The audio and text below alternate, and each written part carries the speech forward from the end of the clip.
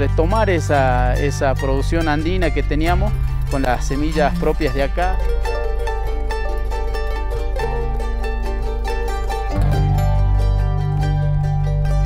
porque dice que tiene muy buena vitamina la, la quinoa. Los abuelos se alimentaban de eso nomás.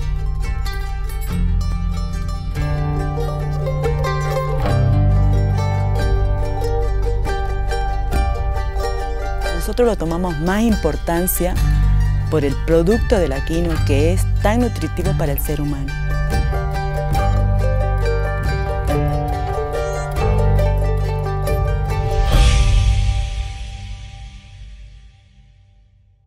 siempre ha sido usado acá en Rodero, en las comunidades, no solo en esta, sino en todas las comunidades, siempre ha sido usada la quina que se usaba para la lejía, para coquear. Y nosotros teníamos semilla de ellos, de nuestros abuelos, pero este, los sembrábamos nada más para tener este, como adorno, como, como un poquito para, la, para el agosto, para chayar, qué sé yo, pero no teníamos este, conocimientos nosotros para en qué más utilizar, darle otra utilidad. Eh, y de ahora, digamos, eh, volvemos a retomar, ¿no? Hace un tiempo atrás empezó, digamos, a, tomar mucha importancia, pero mucha importancia la quina por su valor nutritivo que tiene, digamos. Y hoy en el día hacemos hasta alfajores, se hace masitas, panes, hasta la chicha, el jugo. Hay muchas cosas que se hace con la quinoa, pero nosotros antes no lo sabíamos eso, y nuestros abuelos tampoco. La quinoa es un grano, uno de los granos andinos que se caracteriza por tener un alto valor nutricional, dado que tiene proteínas de alto valor biológico y ha sido utilizado en las culturas precolombinas. La recuperación del cultivo de la quinoa en la región andina ha estado muy vinculada a un contexto internacional que generó una mayor demanda de este grano y es a partir de allí que genera en otros países como la Argentina mejores oportunidades para plantear un programa, proyectos de recuperación o reintroducción del cultivo de la quinoa en la región.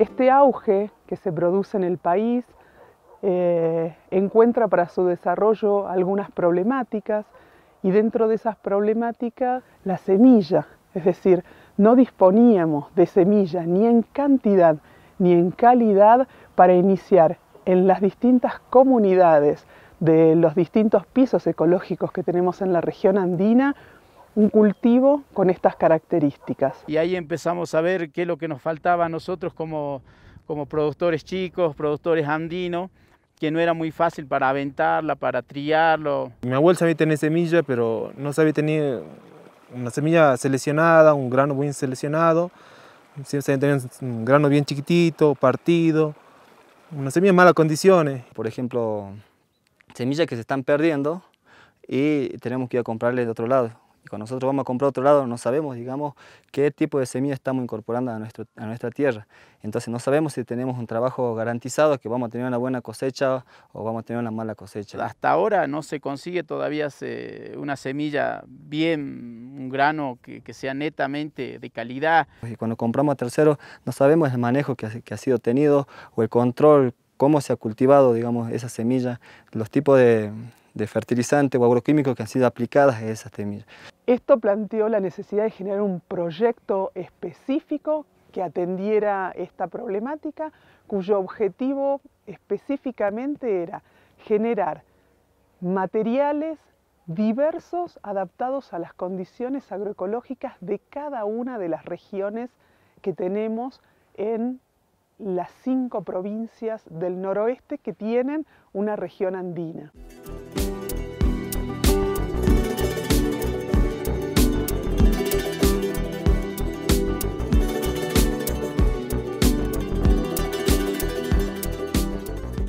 El objetivo de este proyecto es poder lograr lo que son semillas de quinoa locales para poder diversificarla en su uso, lograr variedades locales que se adapten a la zona, que se adapten según los criterios de selección de los productores. Para que los productores puedan producir este, su propia semilla, ¿no es cierto?, de mejor calidad, también para que a futuro puedan vender este, tal como lo exige la ley también. Que... El proyecto se apoya en cinco regiones que denominamos sitios.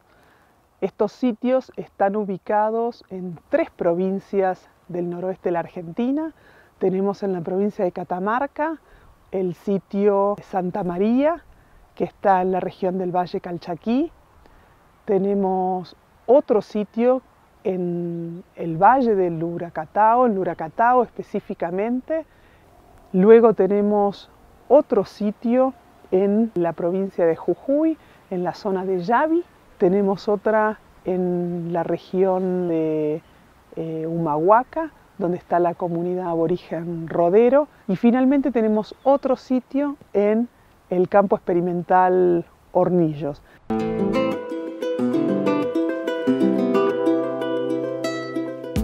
La propuesta metodológica que tiene este proyecto es una propuesta innovadora y decimos que es así porque el desarrollo que se realiza con las semillas es a partir de una metodología de selección participativa.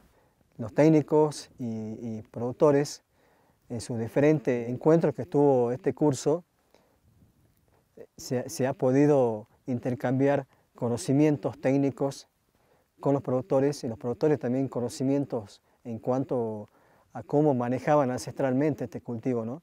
Con el conocimiento del técnico eh, complementamos todas esas prácticas y, es muy beneficioso para los dos, para el técnico y para el productor mismo. Poner en valor los conocimientos de los productores que históricamente producen distintos cultivos, seleccionando y reproduciendo esos cultivos para garantizar su, el autoconsumo, el arraigo en la tierra y también para la posibilidad de comercializar. Como, como agricultores hemos aprendido algunas cosas buenas, y algunas que no lo entendemos también, también nos falta algo más capacitarse.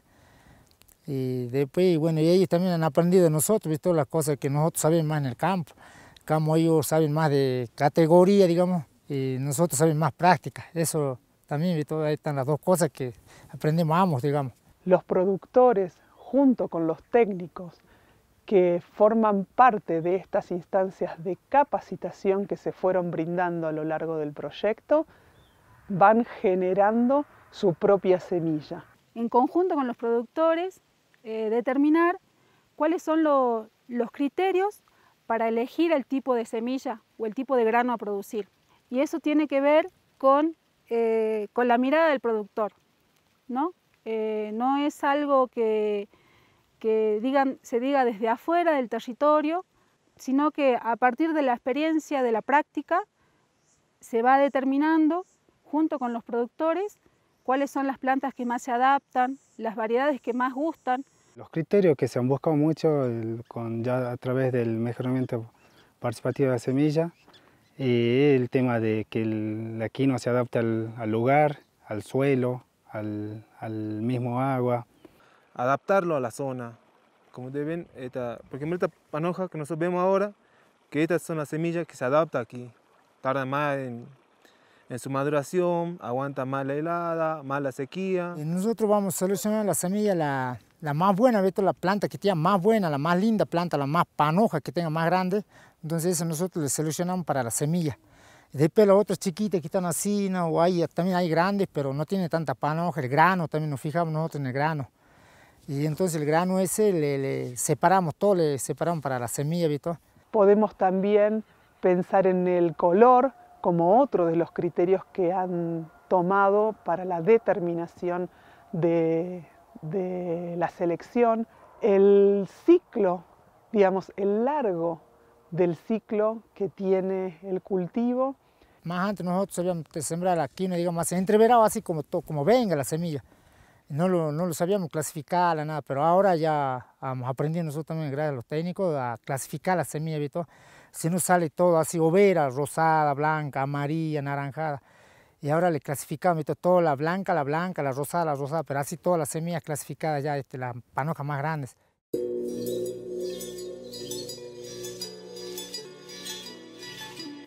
Bueno, lo, que vamos a hacer ahora es, vamos a hacer una, un corte de selección de, panoja para semilla. Entonces, este, lo que van a cosechar, los voluntarios que van a cosechar y poner todo, todo lo que han venido aprendiendo y todo lo que tenían heredado de, del cultivo quino ancestral.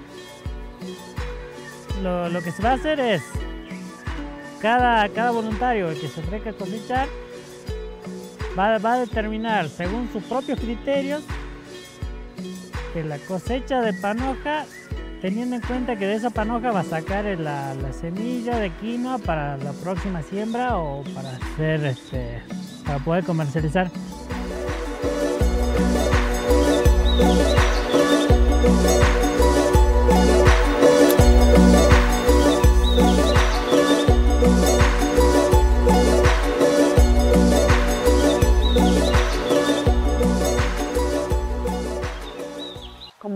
Resultados parciales del proyecto tenemos al menos tres poblaciones por cada uno de los sitios, bien eh, homogéneas, podríamos decir, que tienen estas características particulares que las distinguen una de otras y dan amplias posibilidades a los sistemas productivos de la región. Desde el punto de vista eh, de semillas selectivas, porque es para producción de semilla, lo otro bueno después se destina, se lo clasifica para producción de semilla o para producción de consumo o de productos derivados de la quinoa y cómo es su desarrollo de la planta en sí misma, ¿no?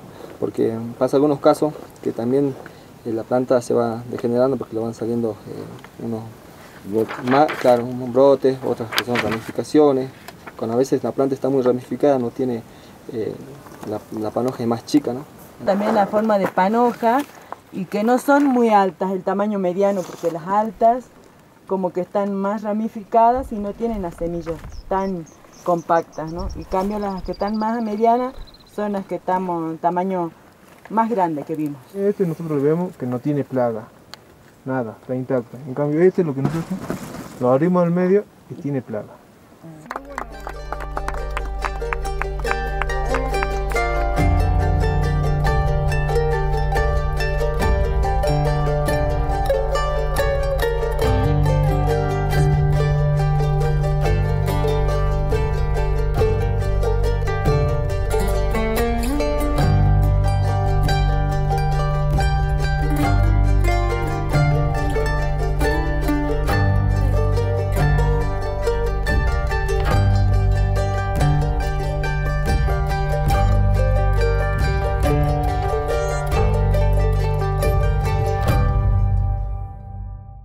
Día estamos manejando más o menos una, población seleccionada y posteriormente digamos, es mejorar la calidad y seguir mejorando y también eh, tener una, variedad de, cultivos. ¿no?